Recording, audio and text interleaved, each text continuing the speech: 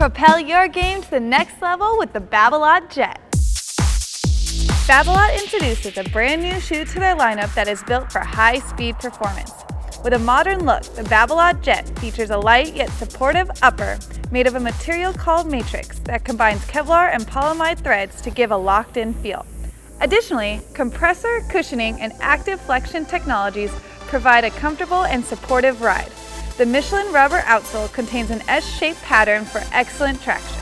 First up, we have Michelle. Now, you've play tested several Babolat shoes, and this is one of the lightest shoes they've offered. What do you think of the Babolat Jet? Yeah, I was actually very impressed with the step and comfort. Usually with these lighter shoes, uh, brands take out the plush comfort in them, but this one had tons of plush cushioning. So right when you step in, it feels very soft. Um, stability was great as well. Usually, again, with the lighter weight shoes, I find that I lack stability, but these had a ton of stability. Now, if I had to have an area that I didn't love it, was the support actually. It's very soft support and it reminds me kind of like a solution speed, however, it's even softer. So I actually was having some pain in my arches. I do have high, higher arches and uh, found after I played, I was getting the pain. So never on the court, but about a half hour after I was done playing, I had some pain. Um, the traction was great though. I, I, thought the traction levels were consistent from the beginning to the end of the play test and it is a really lightweight, fast, speedy shoe.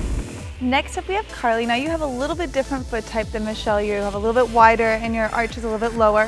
What do you think of the Jets? Well, the last few Babolat shoes that I've played in have had a wider fit, so I was really surprised with this one. Actually, it has a much more narrow fit and that was where I had the biggest issue with the break-in. For the first couple of times, I was especially um, getting a pain in my forefoot. There's a, a, plastic piece right at the inner toe box that was causing a lot of pain just because it felt so tight around my foot.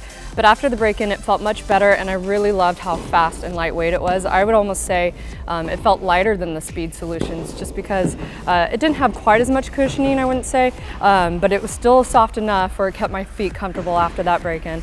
And then um, unfortunately with me, the Traction 2, uh, I had uh, problems in the beginning, it just it felt slicker. And then as it broke in more, I thought it had more of a grip, which I haven't experienced before. But um, yeah, it was just after that break-in, I thought that this shoe played really well. I also play tested the Babolat Jets and opening the box, I was really impressed with the awesome colorway. I loved the look of this shoe and slipping it onto my feet, I was very surprised that I found it to play or to fit more narrow than other Babolats I've worn, which is great. I have a narrow foot, so it fit um, width-wise perfectly. And I didn't have a lot of extra room either, which my foot was held pretty firmly in place when moving side to side. My favorite features of the shoe was the lightweight and the low to the ground feel. I felt very quick on the court, very connected to the court when moving aggressively.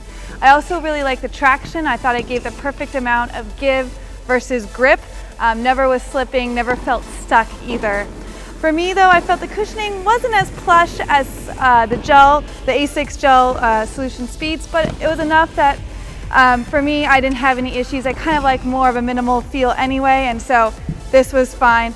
My one knock with this shoe was that I was getting some pain on my right foot, and this never went away from the very moment I put the shoe on to the very last hour of my play test.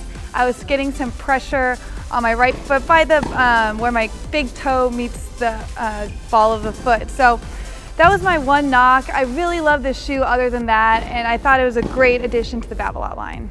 For more information on this shoe, please check it out online at tenniswarehouse.com. Thanks for watching.